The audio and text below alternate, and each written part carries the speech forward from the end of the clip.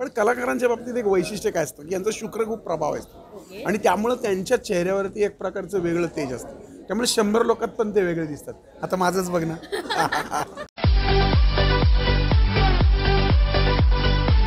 नमस्कार मी कस्तुरी. तुमचं पुन्हा एकदा स्वागत आहे डिजिटल टाईममध्ये खरं तर बारा राशींचे बारा तऱ्हे असतात आणि सध्या तरी आलोय माझ्या राशीला नावाची चर्चा सुरू आहे. चित्रपट तर हिट होणारच आहे पण गंमत अशी आहे कारण का कलाकार म्हटलं की त्यांचा वेगळा ऑराच असतो. तर आज आपण सरांकडून जाणून घेणार या बारा राशींबरोबर की बारा तऱ्हेचे कलाकार देखील असतात. तर प्रत्येक राशीचे कलाकार कसे असतात आज आपण सरांकडून जाणून घेणार तर व्यवसायाचा दायरा असतो. जसे तुम्ही पत्रकार आहात. तर पत्रकार राशी या सगळ्यांच्या आहे त्यामुळे पत्रकार म्हटला तरी तो बारा राशीत विभागलेला आहे.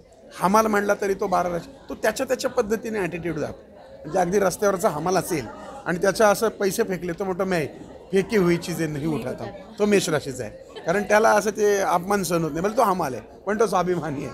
म्हणजे जशी प्रत्येकाची राशी तशी कलाकारांची पण राशी असते. पण कलाकारांच्या बाबतीत एक वैशिष्ट्य काय असतं? की यांचा शुक्र खूप प्रभाव असतो. आणि त्यामुळं त्यांच्या चेहऱ्यावरती एक प्रकारचं वेगळं तेज असतं. त्यामुळे शंभर लोकात पण ते वेगळे दिसतात. आता माझंच बघ ना. तर सांगण्याची गंमत अशी आहे की एक प्रकारचा ऑरा जो असतो तो त्या ग्रहांच्या माध्यमातून होतो. आणि त्यातल्या ज्या बारा राशी असतात त्या त्या पद्धतीने ते बिहेव करतात. आता काही लोक अतिशय ॲग्रेसिव्ह असतात. काही लोक एकदम शाय असतात. आता आपल्या चित्रपटामध्ये चिन्मय मांडलेकरची भूमिका आहे. त्याच्या राशीनुसार तो एकदम शाय आहे. पण प्रचंड बुद्धिमान आहे कारण बुधप्रधान रास आहे. आपल्याकडे निर्मिती ताई आहे. निर्मिती ही ॲग्रेसिव्ह आहे ती वृश्चिक राशीची. चित्रपटात भली तिची रास वेगळी दाखवली आहे. परंतु एकंदरीतच त्या त्या राशीनुसार त्या त्या कलाकारांचं बिहेवियर असतं.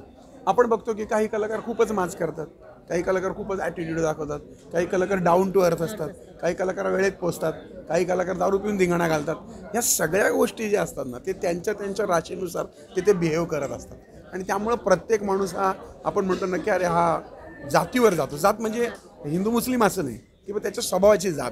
जातीवर जातो. तशी माणसं ही जातीवर नाही तर माणसं राशीवर जातात. असं. खरं तर सर आजपर्यंत अनेक कलाकार तुम्हाला भेटले असतील. अनेक कलाकारांनी तुमच्याकडून काही टिप्स घेतले असतील. असा कधी अनुभव आलाय की खरंच त्या कलाकाराला समजून सांगावं वाटलंय की बाबा हे आता असं घडणार आहे पण तरी त्यांनी तुमचं कधी ऐकलंच नाहीये? नाही असं नाही झालं. माझ्याकडं आता मी काही कोण आता हा खूपच गोपनीय गोष्ट असल्यामुळं माझ्याकडं सामाजिक शैक्षणिक राजकीय सगळ्या क्षेत्रात येते चित्रपट क्षेत्रातली पण येतात.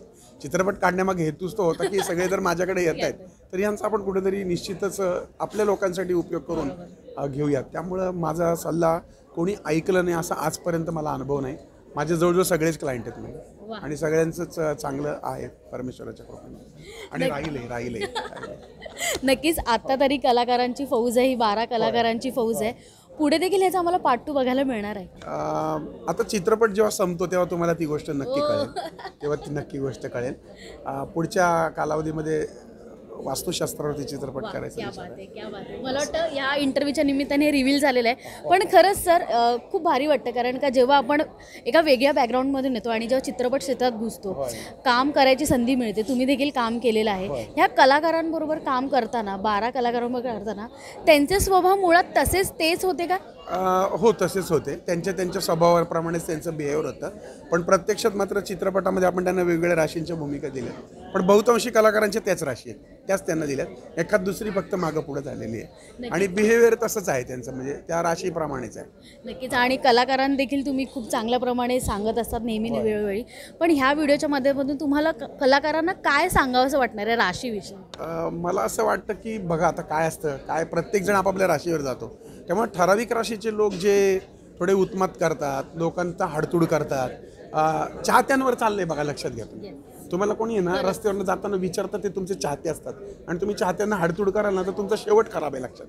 म्हणून ज्यावेळेस तुम्ही जाताय आपला त्यावेळेस तुम्ही माच करू नका असं आहे. कारण मग लक्षात घ्या तुम्ही जेवढा माच करणार तेवढा तुमचा शेवट खराब आहे. कारण ज्यांनी प्रेम दिलं ते तुम्हाला लाथाडू पण शकतात.